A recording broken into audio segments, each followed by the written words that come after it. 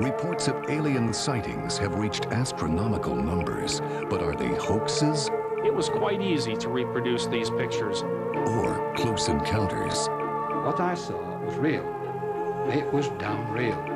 What is the truth? Are aliens closer than we think? Decide for yourself on Discovery Channel's Alien Invasion Week.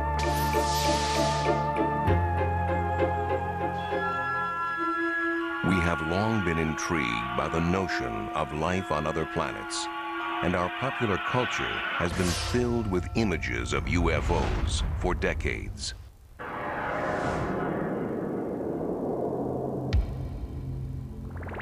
But the first widespread documented sightings of UFOs in the real world came in the closing months of World War II. The sightings we saw were, I think, were in about uh, in the 44, in November or December then. We'd see uh, these uh, balls of light that would fly off the wings of our airplane. The one I saw was like a white light. A lot of the other people reporting in it saw um, old red lights, and some of them would see some green lights, and some of them reported that they would that they would try to chase one, why they couldn't, they never could catch it. We would turn into it, and it would turn with us. And we'd turn away from it, and it would still turn with us. And I put my gun sights on, trying to get on it, but I never could. We flew the uh, British Mosquito, which was capable of 450 knots, and we opened it up a number of times and uh, tried to close with it, and um, we never came anywhere close to it. The pilots dubbed these unidentified flying objects Foo Fighters, but still don't know if they were German secret weapons, optical illusions, or something else entirely. I think the book is open on whether it was um, imagination, hallucination, or really extraterrestrial or uh, German ground control object, but I haven't seen anything in 50 years that changed the uh, perception of what they were other than unidentified flying objects.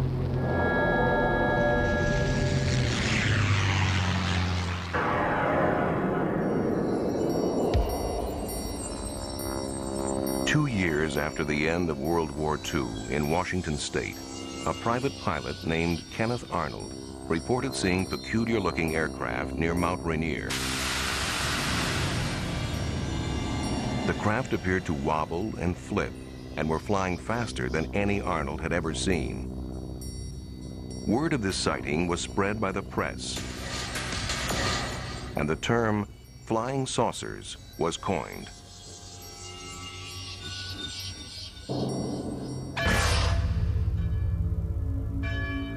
Although life in post-war America seemed tranquil enough, such reports of unidentified flying objects began to multiply. Were these UFOs Soviet reconnaissance planes? Could this explain their apparent presence around U.S. military bases? Fear began to emerge. Atomic secrets could be at risk.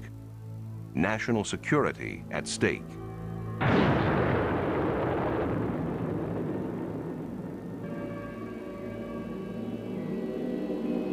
Given their potential significance, UFO reports and rare films from witnesses did not go to the police or scientists.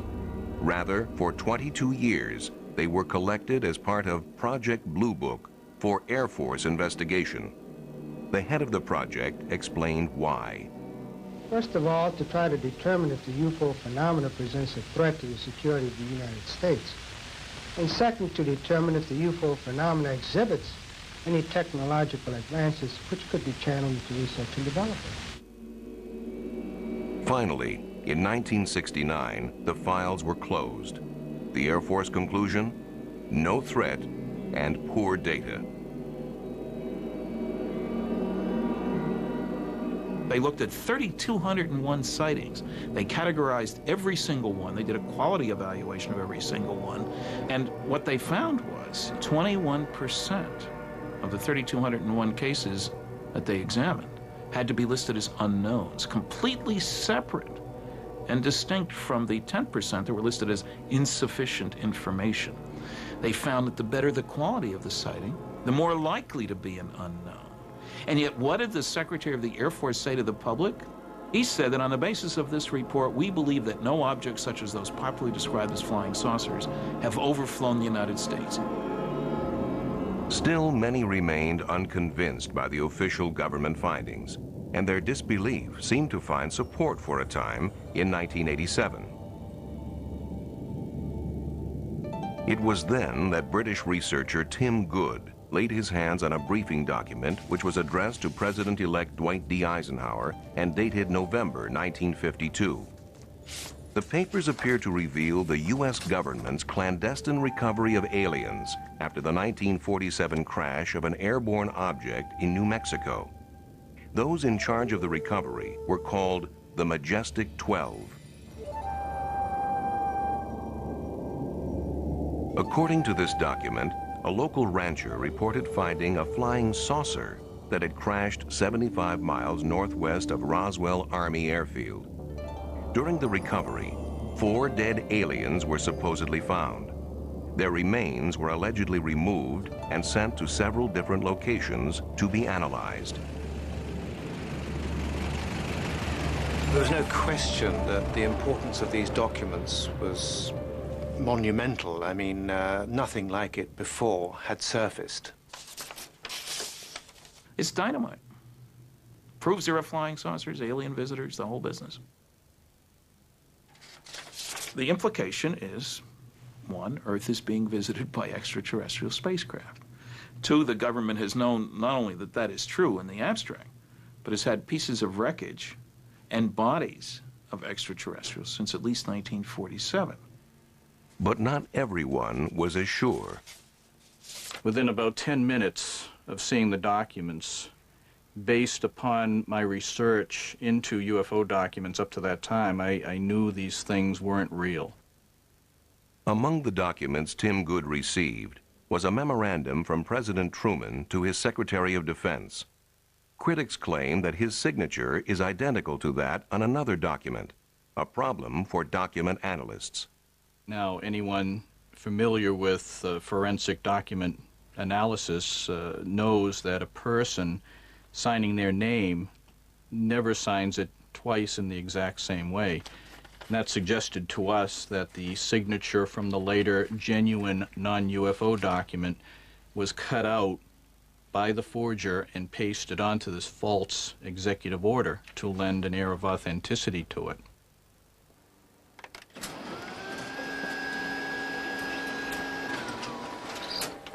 They say the signature on there is identical to another signature from a different memo, which I found in the first place. I say if you hold them up to a light table, they are clearly not identical. Regardless, though Tim Good admits the letter itself may be a fabrication, he does not dismiss the information contained within. I am convinced that whoever fabricated that document, if it was fabricated, must have had inside knowledge. There's no way it could be otherwise. And there's no question that the Majestic 12 papers have indeed pointed people in the right direction. And I think essentially the information contained therein is accurate. Eventually, to get a more complete overview of government documentation regarding UFOs, the Citizens Against UFO Secrecy went to court. The National Security Agency, however, tried to block them. We filed for the 21 page above top secret affidavit. The judge had referenced it in his finding, and we eventually got it. The only trouble is, as you start to go through it, you find that it's blacked out and blacked out, and pretty soon all blacked out. 75% of the document isn't there, and people say, scrape away the black, there's nothing underneath. They Xerox it first.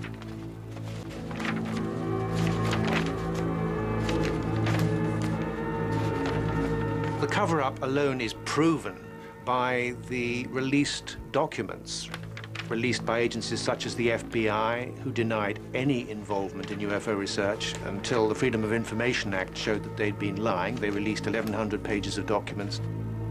CIA denied any interest in the subject.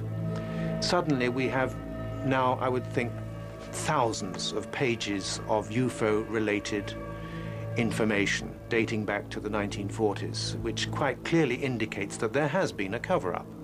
Certainly, the private Center for UFO Studies thinks there is validity to UFO work. Over 100,000 cases are archived there. I am convinced by over 20 years of, of work in this field that there is a mysterious phenomenon occurring that that is being neglected by science, not by the public, but by science. Um, and it's to science's detriment that it's doing so. When the War of the Worlds radio drama was broadcast in 1938, how did some listeners react to hearing of a Martian landing in their hometown? When Alien Invasion Week returns, not having heard the radio disclaimers, some War of the Worlds listeners crept through the night fog looking for Martians and shot a water tower. Now back to Alien Invasion Week.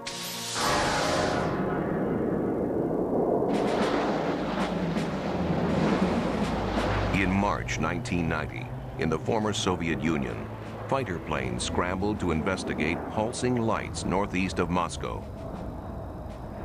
For three and a half hours, they stalked the lights, which moved at speeds up to 3,000 miles an hour. No radar image appeared on the screens of ground stations, but photographs were taken, and thermal imaging produced results. For the Chief of Air Defense Forces, these secret results were proof enough of UFOs. Though journalists are asking if there are other sightings, these 1990 cases were the only one supported by evidence. This is the only case for which there is real proof. Nor was it ever considered that the sighting was that of a stealth bomber. We never thought it was an American stealth aircraft. The radar characteristics are not the same. Stealth behaves like a plane in terms of speed and maneuverability. UFOs are very different. The unwritten rule do not fire on UFOs.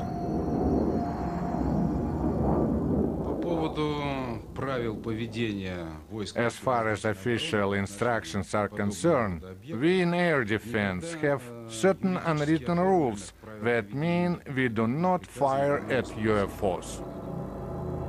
From 1977 on, an official Soviet Ministry of Defense study has collected hundreds of reports of UFOs, reportedly to gain alien technology for military use.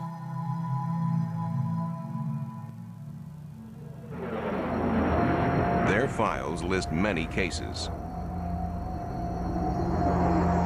In one case, a pilot reported finding a light closing in on him, at which point his aircraft went into rapid descent. Though he landed safely, there was damage to the left wing.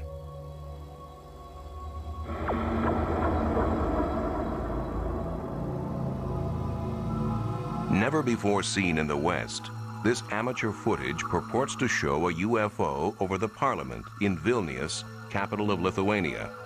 The craft hovers noiselessly, appearing to land.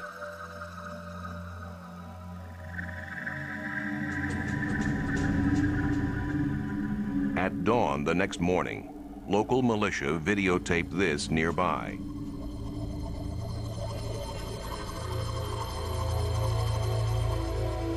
Enhanced, the night visitor looks like this. It moves unlike a normal helicopter or plane.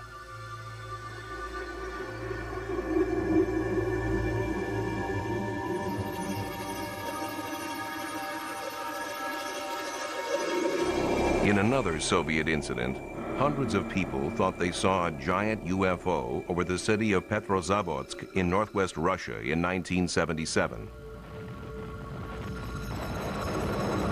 But studies established that it was the burning booster of a secretly launched satellite. Still, at the Soviet Academy of Sciences, such phenomena are considered worthy of serious inquiry.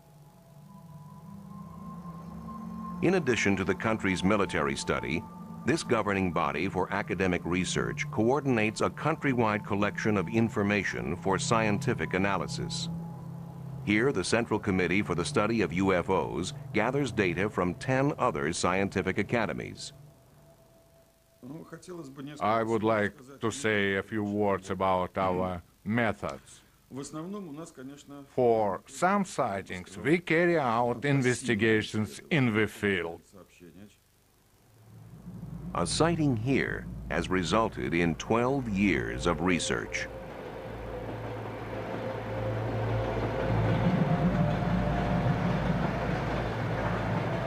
Train passengers reported seeing a UFO.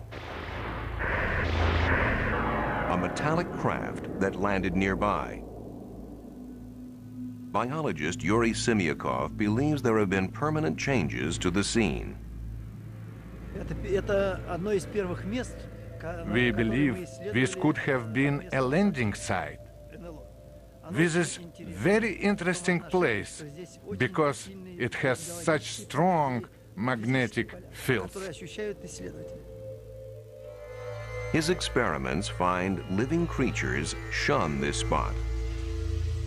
These findings are consistent with studies of other UFO sites, where the ground appears empty of all life, even microbes. Most puzzling of all, Earth samples taken from landing sites contain tiny spheres. His work has led him to conclude these spheres were extraterrestrial in origin, containing DNA, the seed of life itself. In the U.S., tests of these samples were divided. Results indicate that the spheres are either of unknown origin or common parts of groundwater filter systems. Yet some Russian researchers believe alien microtechnology is being placed here by interplanetary prowlers.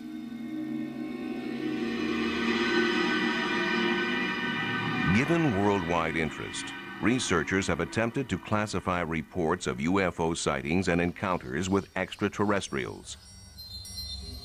When an unidentified flying object is seen, but nothing more, it is labeled a close encounter of the first kind.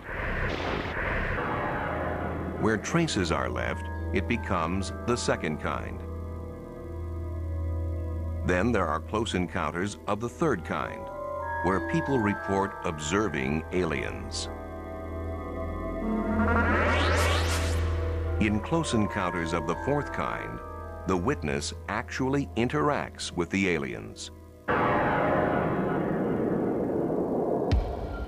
In November 1980, in Todmorden, England, an experienced police officer, Alan Godfrey, was on night patrol when he saw an object he could not identify. I was on a 10-6 night duty, so I decided that I would go up to this local council estate. As I was about to turn, I saw another 500 yards up the road this object. As I got near to this object, it became apparent to me that what I was looking at wasn't something that I, I would normally find in the early hours of the morning in Todmorden, you know. I thought it could have been a hot air balloon that had come down, but obviously as I got nearer and nearer, I realised that this was a metallic, man-made craft. It was a nuts and bolts thing. It wasn't an hallucination, it was real. This object was 20 foot wide. It's 14 feet high. It's diamond shaped. The bottom half of it was rotating, the top half was stationary.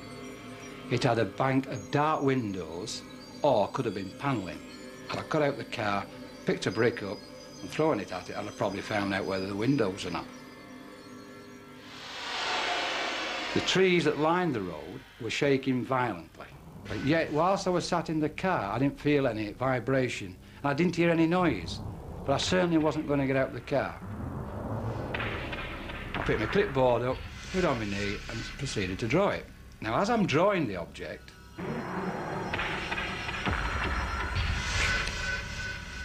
I'm suddenly at the other side of it driving the police car. And the object had gone. Gone too was a period of time. After hypnotic regression, the officer remembered more. There's a total blackness. Then there's a feeling of floating, as though either me on my own or the vehicle, whatever, is floating. Then I wake up in a room. Now, in this room, there is a very tall humanoid, for want of a better word. He's about six foot to six foot six, very tall, thin, with a beard. He had a skull cap on and he had this white gown on. What happens then is I'm asked to get on this bed. Now, the questions asked to me then is, how did he, you know, he wants to get on Because I said, well, his mouth's not moving, he's not talking, it's just, he wants me to get on the bed. Obviously, whatever it was, was having some sort of influence over my thoughts. Yet I did feel at ease with him. I felt comfortable with him. I got the impression that I'd met him before. I, I wasn't in fear of him or anything like that. I didn't feel in any danger. So I'm on the bed, and these horrible little things come.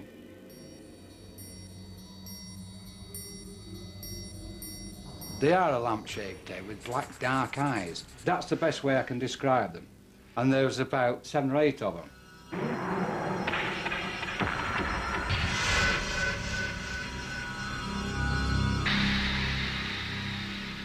Officers nearby said they saw a light in the sky, and Alan Godfrey insists his encounter was genuine. I know that night what I saw was real. It was damn real. Term flying saucer was coined in 1947 by Kenneth Arnold, what were UFOs called? We'll be right back with the answer and more of Alien Invasion Week. UFOs were often called ghost rockets. One of the earliest sightings occurred in Scandinavia in the 1930s. We now return to Alien Invasion Week here on the Discovery Channel.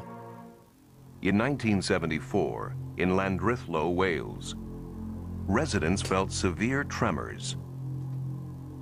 Tremors, which some felt were not naturally caused.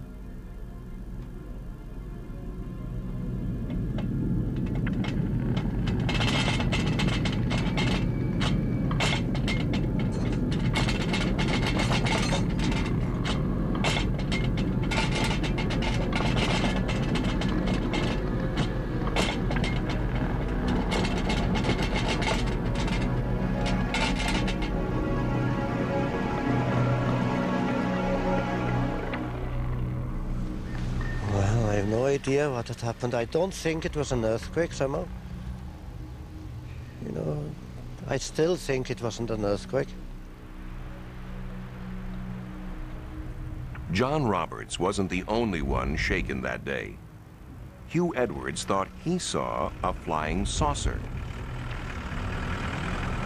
I saw this object coming along the mountain with the size of a bus, really.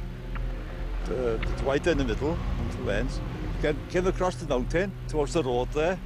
As it went over there, it dipped and I thought it was going to crash. It dipped out of sight into the valley. Well, I'd heard so much about flying saucers and I thought, well, this is it. And the only sound I heard of it like, like a shh going through the air. I was very surprised to see it, really.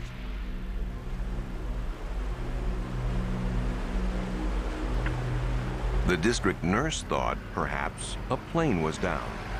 I thought there might be an air crash. Maybe as a nurse we could help giving first aid.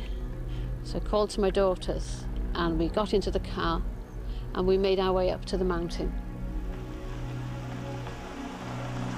We drove a fair way along the mountain road and to our left we could see a huge orange ball sitting on the mountain glowing. Yeah, we stopped and we started looking what we thought was going to be an aircraft on fire. Because we'd envisaged sort of, oh God, you know, there might be bodies if it was an aeroplane crash, and we weren't too happy at that prospect, but we were quite surprised to see this big reddish orange ball just sitting there. There were no flames, and it was so um, uniform.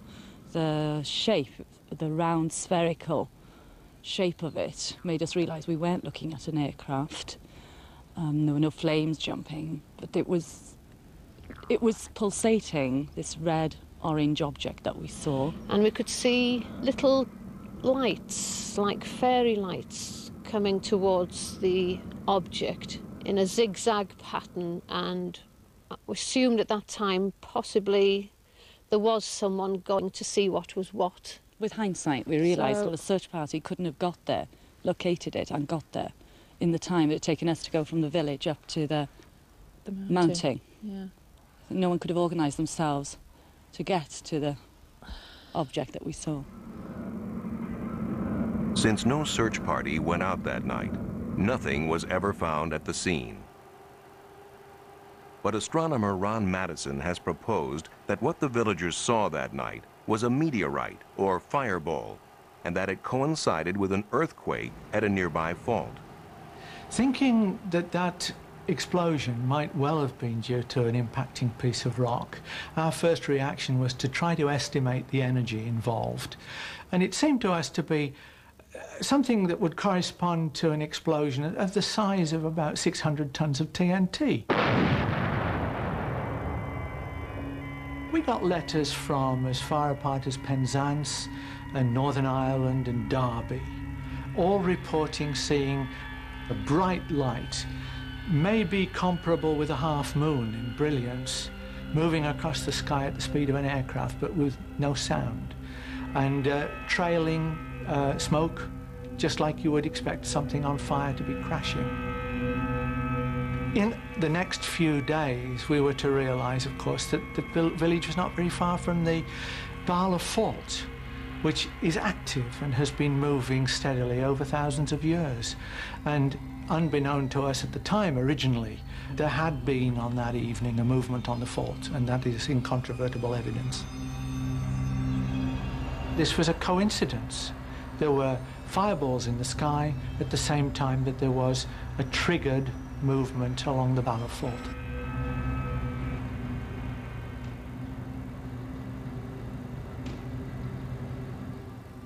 Another highly publicized British sighting proved equally attributable to natural causes, but not before many believed that they too had seen a UFO. In March 1981, policeman Derek Ingram saw and photographed what many thought to be an alien craft that had landed on a fell or hillside. I was in the uh, kitchen of the police house at Cracoe. I looked out across the fell, with the kitchen window backs onto the fell, and I saw a very intense bright light, a big band of light, on the rock face of the fell. I watched the light for maybe 10 minutes, and I thought it was worth taking a photograph of. It was un unusual. I actually drove up onto the hill and walked across the fell to try and find something on there, maybe something had been dropped or something had happened. Uh, there was nothing up there. I couldn't find anything at all that would explain the lights. The faithful saw a finned craft with three lights. And as the press had a field day, researchers tried to identify the visitors. After the photographs had been taken, the, the, negatives were given to the Yorkshire UFO Society, who spent two years investigating the case. They sent the negatives to Ground Saucer Watch in America and to a very well-known German UFO photographic analyst. Neither groups of people could come up with a satisfactory explanation, and in fact, Ground Saucer Watch actually said snow was the best possibility for it. In 1983, the Yorkshire UFO Society went public with the case and actually claimed that it was the best evidence yet for a structured craft being sighted in, in the British Isles. The investigation continued, and in 1987 we'd almost given up hope of ever finding out what caused it, and I was on a, a weekend trip in the Dales with my wife and son and decided to stop and show them Cracoe Fell. And lo and behold, what should be staring back at me from the cliff face but the Cracoe UFO? What they found was certainly a surprise. Right, we're about 1,100 feet up a Yorkshire cliff, and this is the Cracoe UFO. It might not look like much from close up, but you can actually see the three balls of light on the photograph. They're created there, there and there by a complicated illusion uh, a mixture, in fact, of white lichen, green lichen, the Yorkshire Gritstone rock, which contains quartz crystals, and the rainwater. All this, when it's illuminated at certain angles by rain or damp, it gives the illusion of three balls of light.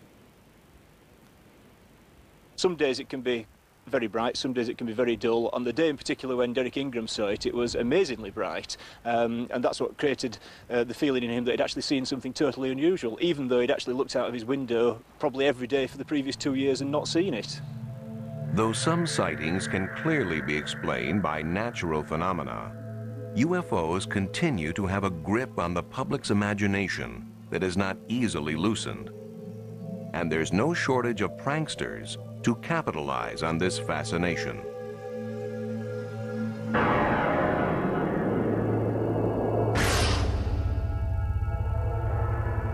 In Gulf Breeze, Florida, in November of 1987, builder Ed Walters claims he took Polaroids of a UFO three times as big as a house. For him, it was just one of many such photo opportunities, near abductions and glimpses of aliens. Though he sold two books worth, Ed would not allow his photos to be included in this program.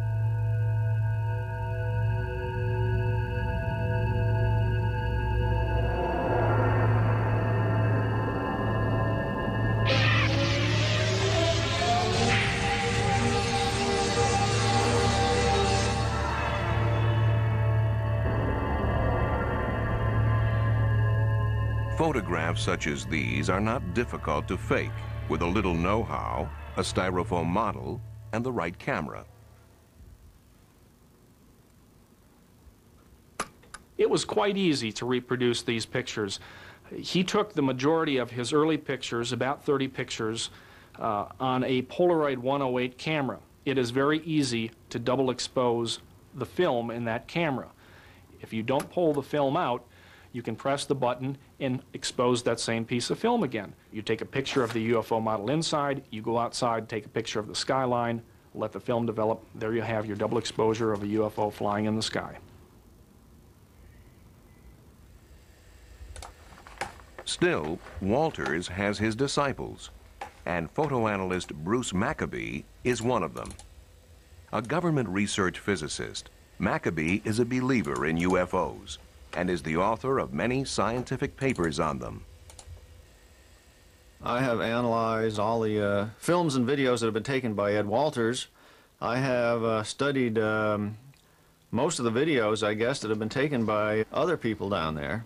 And it's just sitting there. As far as Ed's pictures and videos are concerned, it's my opinion that they are real. I've analyzed these very carefully, taking into account all the uh, criticisms that have been leveled against them and have found reasons to reject the criticisms. In baseball, you get three strikes and you're out. For Ed Walters, in this case, strike one was when a model was found in the attic of his former home. Strike two was when a young man named Tommy Smith came forward and claimed that he was an eyewitness to Ed Walters creating double exposed UFO pictures. Strike three was when we went out and did photo experiments and were able to replicate many of these photos, especially the difficult photos like the UFO hovering over the road. So my conclusion is three strikes and you're out. We uh, published the first pictures of the Gulf Breeze sightings back in uh, November of 1987, and uh, I was uh, trying to figure out exactly how to present them because I tried to run everything that happened locally in Gulf Breeze. Uh, when my folks came in and uh, I said, you're not going to believe what we're getting ready to run in the paper this week. And I showed them the pictures. And they said, that's what we saw. It was primarily because of uh, the many other people in Gulf Breeze that witnessed the UFO, both the same night that Ed first got the pictures and many times after that, that uh, the Sentinel continued to carry the story. I have had three other daylight sightings and over a hundred sightings at night at Shoreline Park in Gulf Breeze. I witnessed over 170 sightings. These were red lights, red and white lights over and around Gulf Breeze, Florida. I've seen a silver flying dome in the sky that was unidentifiable. Never seen anything like that before, and it was just, it was unexplainable. But just across the bay from Gulf Breeze is the Pensacola Naval Air Base. One explanation that occurs to locals is that some of the sightings are illegal pranks by naval personnel at the base.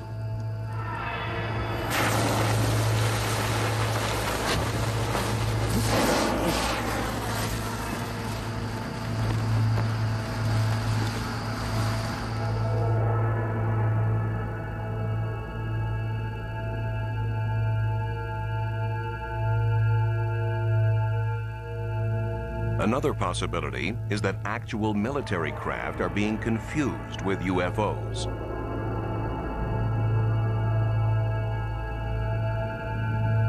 For instance, would most people recognize UAVs, uninhabited aerial vehicles, designed for stealthy reconnaissance and secret observation?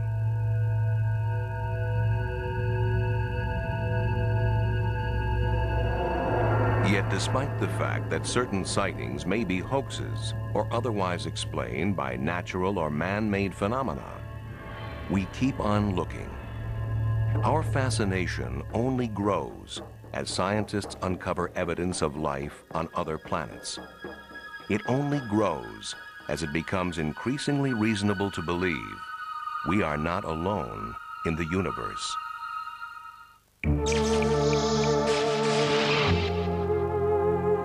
Are some of the most common traits of self-proclaimed UFO abductees?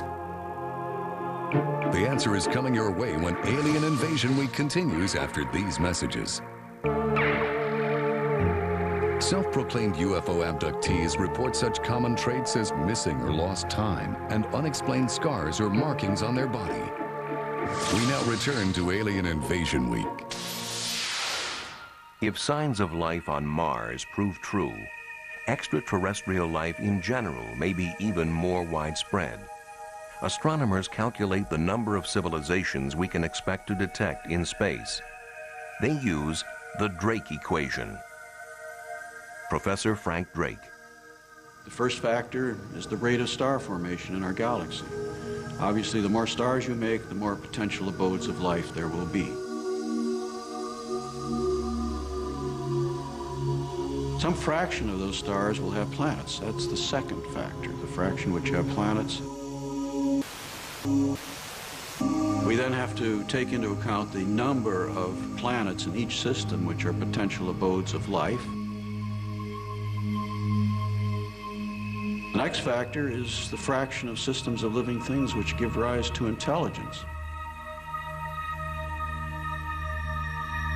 The next factor is the fraction of systems of intelligent creatures which develop high technology, detectable technology. But how long do they last? How long are they detectable? Perhaps they're destroyed by cosmic accidents. Perhaps uh, in an ugly way through nuclear war. More likely, we think they become undetectable because they become so sophisticated in their technology that they don't waste any energy. They don't release energy into space, and therefore there's no sign of them to detect. And so we say, well, there must be some longevity. L, the length of time typically a civilization is visible. And now if we take the rate of production and multiply by that L, the end result is that thing we started out to find, which is the number of detectable civilizations in space. And the number is getting bigger. Seven new planets have been discovered in the last year. One planet is almost as big as Jupiter by the fourth star nearest to the Sun, a planet orbiting star 51 in the constellation of Pegasus. The latest estimate of the number of galaxies is now 50 billion. The estimated number of detectable civilizations 100 million million. Are any of these potential civilizations attempting to communicate with us? SETI, the search for extraterrestrial intelligence, is listening. I made the first modern radio search in 1960. All over the world, large radio telescopes were being constructed because the, the beauty and power of radio astronomy had just been recognized. And also at that time, some very much more sensitive radio receivers were invented. The combination of these new telescopes and these new radio receivers gave us a sensitivity very much greater than we've had before. And this was a first. We had, in our abilities, crossed a very important threshold. So it made sense to search. It didn't require anything special in the activities of the extraterrestrials. If they were just like us, we could detect them. Conducting a SETI search from the Earth's surface uh, is very challenging and very difficult. And the reason is you detect intelligent signals all the time. It's just they're all from us. All from us, and some with an impressive shelf life. Call sign GBTT. Golf Bravo Tango Tango.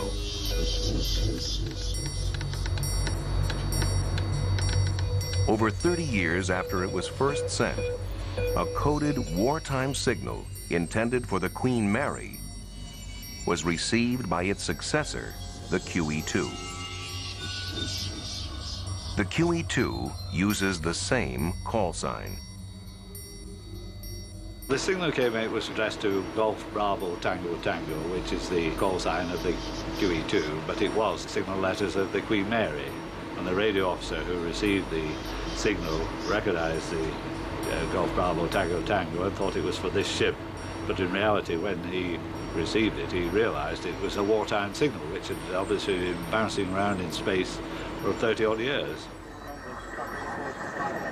Sent to the Queen Mary in the 40s, the signal arrived in February 1978. Was it bouncing through space, as Captain Arnott suggested? Or somehow intercepted and sent by someone or something we have yet to identify? Have we ever detected an intelligent signal from another world? Jerry Ehman may have.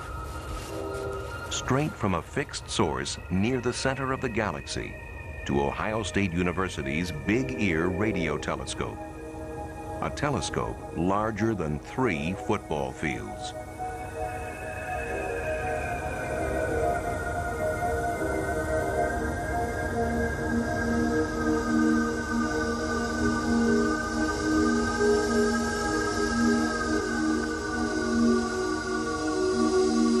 We had started a data run on August 15th, 1977 that lasted for about three days. Through the printout, I was recording and marking all of those signals that were unusually strong, and I came across one that was stronger than I'd ever seen before by many times. And I was so astonished that I wrote the word wow, exclamation point, over in the margin without even thinking.